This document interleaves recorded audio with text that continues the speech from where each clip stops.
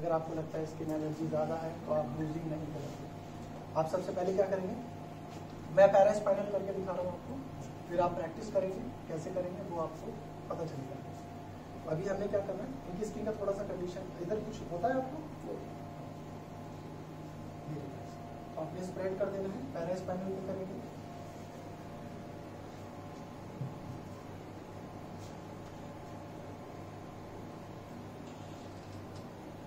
अच्छा आप में से कौन कौन है जिनकी इवनिंग में ट्रेन या कुछ है?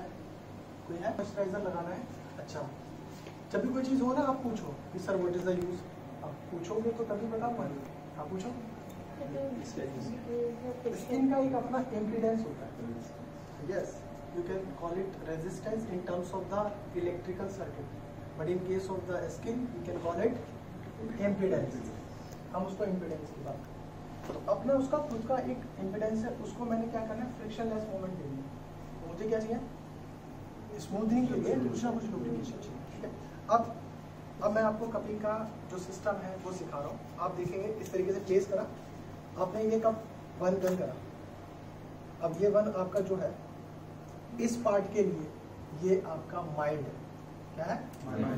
अब उसी को मैंने डबल करा। तो ये मॉडरेट हो गया।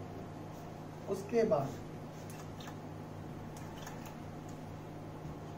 इलास्टिक क्योंकि आपका जो पॉइंट है वो उससे टच हो इसके बाद आप कर भी नहीं सकते। बट कहीं कहीं पे आपका जो हाईएस्ट पॉइंट है ना वो बिना टच करे भी आ सकता है। क्योंकि वो एरिया जो होगा वो हो सकता है इतना थिक ना